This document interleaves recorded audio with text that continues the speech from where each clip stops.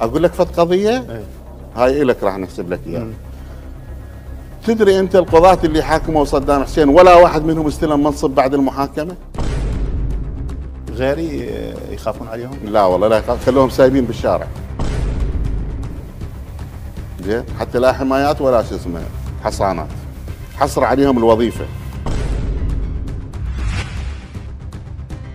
عندما تكلف مجموعة من القضاة في قضية ما ويرفضون الانضمام إليها فاعلم أن الماثل في المحكمة ليس إنسانا عاديا. فقد رفض مجموعة من القضاة تكليفهم بقضية صدام حسين فمنهم من رفض بحجة السفر إلى السعودية لأداء مناسك الحج ومنهم من هرب إلى كردستان. فأن تكون قاضيا جنائيا فهذا أمر عادي لكن أن تكون قاضيا في محكمة جنائية يقف فيها صدام حسين فأنت تلعب في النار.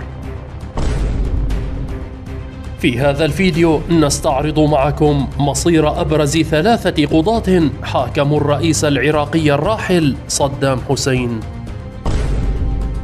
القاضي محمد العريبي.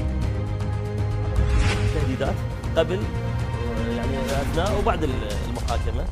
أنا قد- تقدر تعتبر تهديد مبطن ترى إحنا عرفنا اسمك منو أنت منو. طبعا. هو محمد العريبي مجيد الخليفة المحمداوي. قاض عراقي ولد في الكرادة الشرقية ببغداد في السابع والعشرين من شهر أكتوبر سنة تسع وستين وتسعمائة وألف.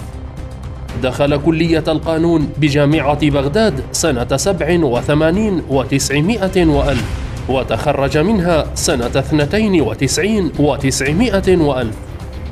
اشتهر سنة 2006 بعد محاكمته الرئيس العراقي الراحل صدام حسين بقضية الأنفال. وبعد أن ظن نفسه أسطورة في القضاء وجد نفسه مرميا في منزله. بلا عمل لا في القضاء ولا في أي وظيفة حكومية. عانى آخر حياته من الفقر الشديد وظهر على الفضائيات العراقية يتسول ويتعطف الناس عليه لكن دون جدوى. ظلت لعنة صدام حسين تلاحقه حتى هلك بفيروس كورونا سنة 2021 القاضي رؤوف رشيد عبد الرحمن ولد في حلبجة سنة 41 و900 وألف. درس في محافظة السليمانية والتحق بكلية الحقوق بجامعة بغداد سنة 59 و900 وألف. واعتقل في عام 63 و900 وألف وذلك لانتمائه للحزب الديمقراطي الكردستاني.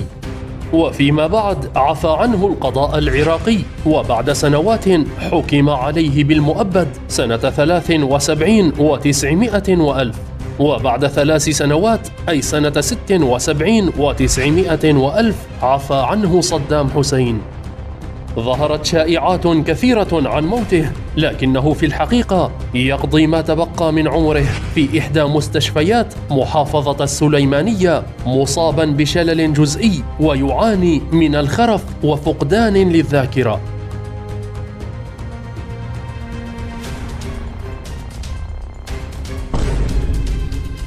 القاضي منير حداد قاض عراقي كان خريج كلية القانون بجامعة بغداد. ولد منير سنة 64 و900 وألف في بغداد لأسرة كردية ويقال أن أصولهم من يهود أصفهان. وبعد تخرجه عمل محاميا في بغداد ثم غادر العراق بسبب معارضة أسرته لنظام صدام حسين. ومن ثم عاد في 2003 وعمل قاضيا في المحكمة الجنائية العليا وهو من وقع وأشرف شخصيا على إعدام صدام حسين. وفي سنة 2011 تعرض منير إلى محاولة اغتيال في وسط العاصمة بغداد ولكنه نجا منها بأعجوبة.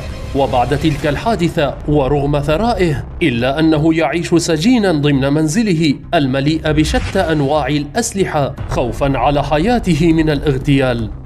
وبعد تخلي الحكومة العراقية عنه أنفق أغلب ثروته على الحمايات الخاصة. هذا هو عدل الله سبحانه وتعالى بهؤلاء الخونة الذين تآمروا مع المحتل ضد قائدهم وأبناء جلدتهم. رحم الله رجالات العراق.